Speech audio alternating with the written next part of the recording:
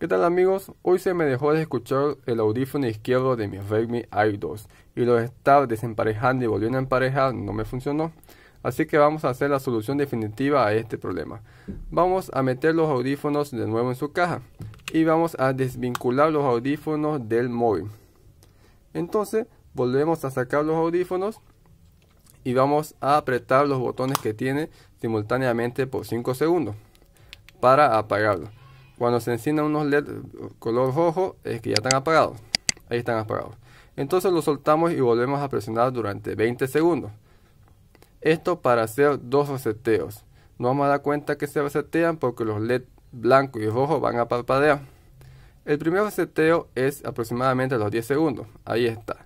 Con esto lo que se hace es que se borran los dispositivos guardados en la memoria de los audífonos.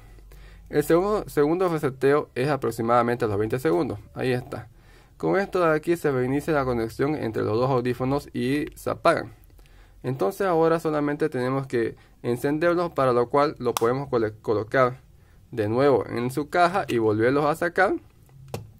O si no, presionar los audífonos por 5 segundos. No vamos a dar cuenta que todo salió bien porque solamente va a parpadear un LED blanco en uno de los audífonos. Eso significa que todo salió bien y ahora podemos volver a emparejar o vincular nuestros audífonos a nuestro móvil. Y eso ya estaría funcionando correctamente. Ahora ya está vinculado y ya se va a poder escuchar en los dos audífonos sin ningún problema. Entonces ya saben amigos, si este video les ayudó no olviden suscribirse al canal y darle me gusta. Si tienen cualquier duda lo pueden dejar en la caja de comentarios.